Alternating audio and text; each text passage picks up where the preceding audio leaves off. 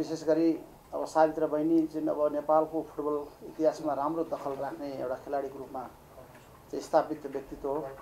उहाँको खेल जीवन अझ वृद्धि विकास होस् अझ अगाडि बढोस् र नेपालको नेतृत्व गर्न सक्षम हुनुहोस् भन्ने कुरा म शुभकामना व्यक्त गर्न चाहन्छु।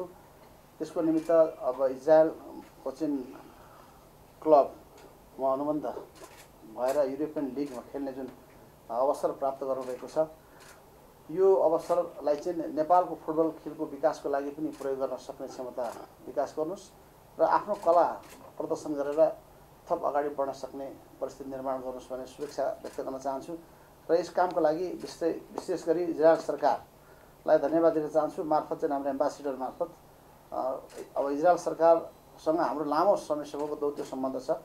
लगभग सन् उन्नाइस सय सा उन्नाइस सय साठीबाट चाहिँ दो दौत्य सम्बन्ध कायम राखेर यहाँसम्म आउँदै गर्दा अब इजरायल सरकारले चाहिँ अब विभिन्न क्षेत्रमा अहिले सहयोग गरिरहेको अवस्था पनि छ र अहिले गर्दै आउँदाखेरि हामी जोडिएका छौँ र यो खेल क्षेत्रको माध्यमबाट अरू जोडेर नेपाल इजरायलको रिलेसनलाई चाहिँ अब बढाउने कुरा चाहिँ विशेष गरी चाहिँ लामो समयदेखि नेपालमा काम गरेका चाहिँ हाम्रो एम्बासिडर चाहिँ हुनुहुन्छ।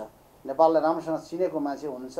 त्यो हिसाबले नेपाली खेलाडीहरूको प्रति उहाँको जुन उदारता चाहिँ प्रस्तुत गर्नुभयो त्यो पनि हाम्रो लागि चाहिँ के अरे एउटा उपलब्धिमूलकै ठान्नुपर्दछ। र आगामी दिनमा थप नेपाल र इजरायलको सम्बन्ध अगाडि बढाउने कुरामा चाहिँ अब खेलाडी बहिनी लगायत अन्य चाहिँ के अरे प्रशिक्षक अरू खेलाडी साथीहरूको चाहिँ तर्फबाट पनि चाहिँ भूमिका निर्वाह गर्नुपर्छ भन्ने लाग्छ।